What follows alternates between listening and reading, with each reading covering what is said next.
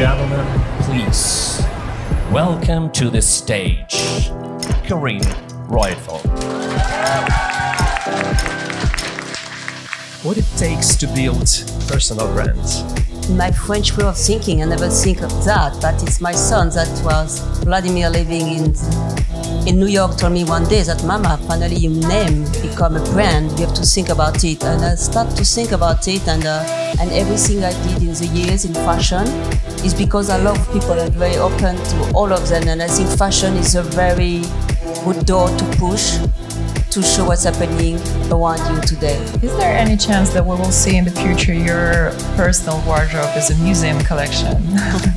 you know, unfortunately, I don't have a lot of space in Paris, and I was very. Um, a lot of designers give me presents. You know, this is my lucky, the lucky way to be a, a, a stylist.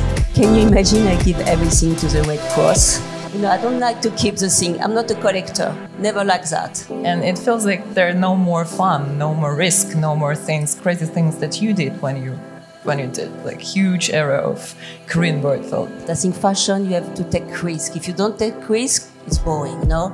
It's not the problem if you make an error, you know, next day it will be something else. But please try.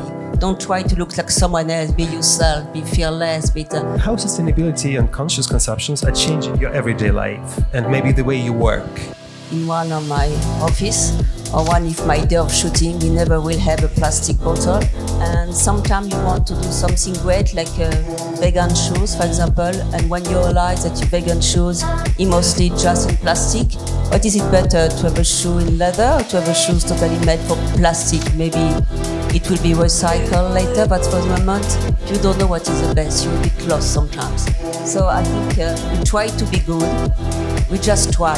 We're not perfect, but I think we're on the good, uh, on the good way. And the young generation, they they are going to be much better than us.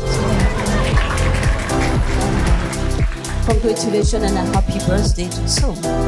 No, it's Happy tonight. birthday. So Happy birthday, everyone. TSUM. But you know, when you come from Europe, people really know TSUM in Kiev. That's good. No, really. And they don't confuse with another TSUM. They know very much yours.